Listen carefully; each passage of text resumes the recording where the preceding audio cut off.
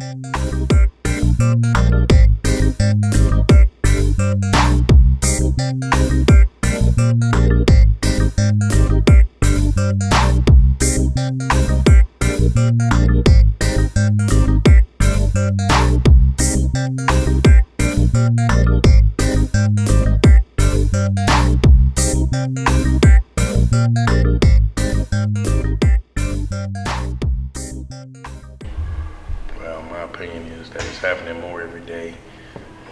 no one is doing anything to control it. What is your experience with beach violence? Working around youth violence every day. I live around youth violence. I see it all the time. Wish it was something that I can do to get everybody together to stop it. Well, just recently, there was a shooting yesterday. Uh, a girl, uh, from what I understand, was running away from the bullet and got hit by a car and was possibly killed, um, from what I understand. Uh, they haven't confirmed it yet, but she did get hit by the car, which one of our staff members noticed or saw, witnessed. Sometimes it may be wise not to run from a bullet, but to drop down low from a bullet, you see? And perhaps if that girl would have did that, she might not have been shot or hit by a car. So you just try to just be observant and not to partake of it. That's about really all that we can do. And if anything that we see, to try to report it before it happens. Students are um, experiencing violence in the classrooms, in the lunchroom, on the playground, as they go back and forth to school. Um, you know, there are there's the danger of them being um, a subject of drive-by shootings or or gangs uh, approaching them and and trying to to attack them. So it is it's a really um, a critical problem in our community, and we really need to start addressing it on many fronts. When kids fight, not like our age, but like little ones. Oh, shit, uncomfortable, make me feel uncomfortable. Uh, I really, I don't know. It's a real uncomfortable feeling. Why is that? Why, why does it seem really, really young children make you uncomfortable? Like I say so little they don't know basic, you know, basic schoolwork, but they know how to fight. It's interesting how they learn how to do that, but don't know how to do their schoolwork. Yes, I witnessed a, uh, a hockey uh, fight, an incident that happened at a hockey fight where uh, one kid was out there and he checked, I, I guess that's what they call it, he checked, he checked another player and the father came from out of the stand. I don't know, you might have saw that too on TV. It was about six or seven years ago where the father came out and beat one of the uh, referees till he died. So, I mean, I think it's something that should be looked at. And some parents, I mean, I think some parents come to the games alcohol, liquored up. So, I mean, it's really something that needs to be looked into. Have you ever witnessed youth violence in sports? Yes, I have in a girls' basketball game. When you seen it, how do you, how did you feel about it? I was a little startled for one because that was my first time witnessing it.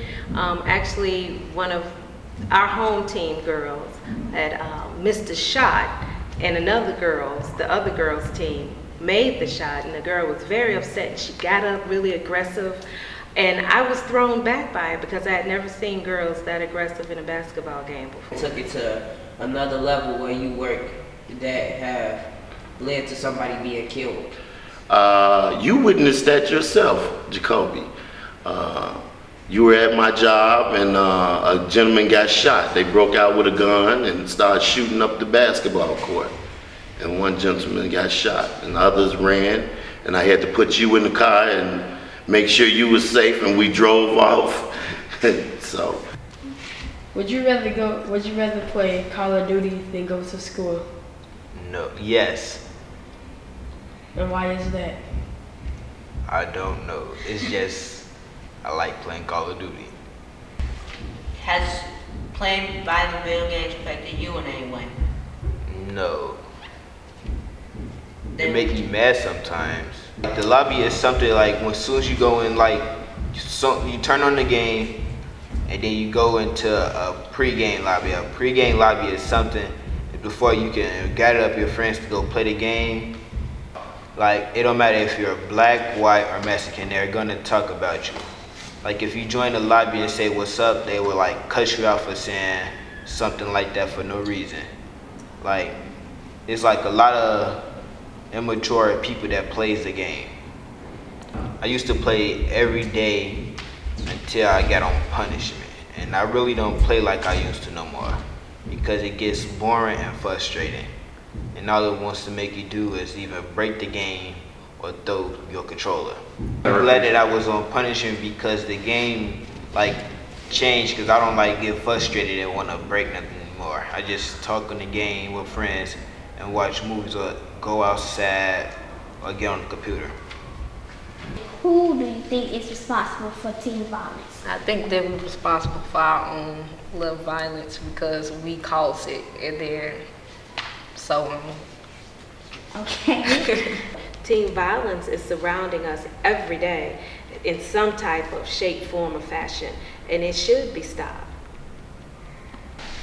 I think that technology and students' accessibility to technology, such as cell phones and computers at home, I think it's a wonderful thing in some ways, but I also think it has increased the likelihood of teen violence occurring.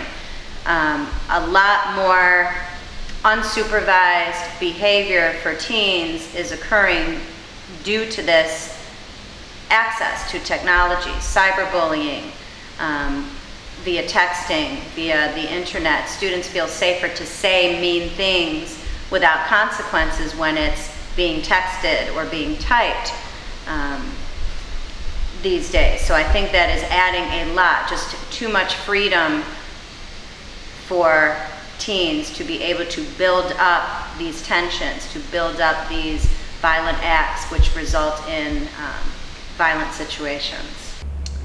Um, where I grew up at, it was not really as much violence as it is in Chicago.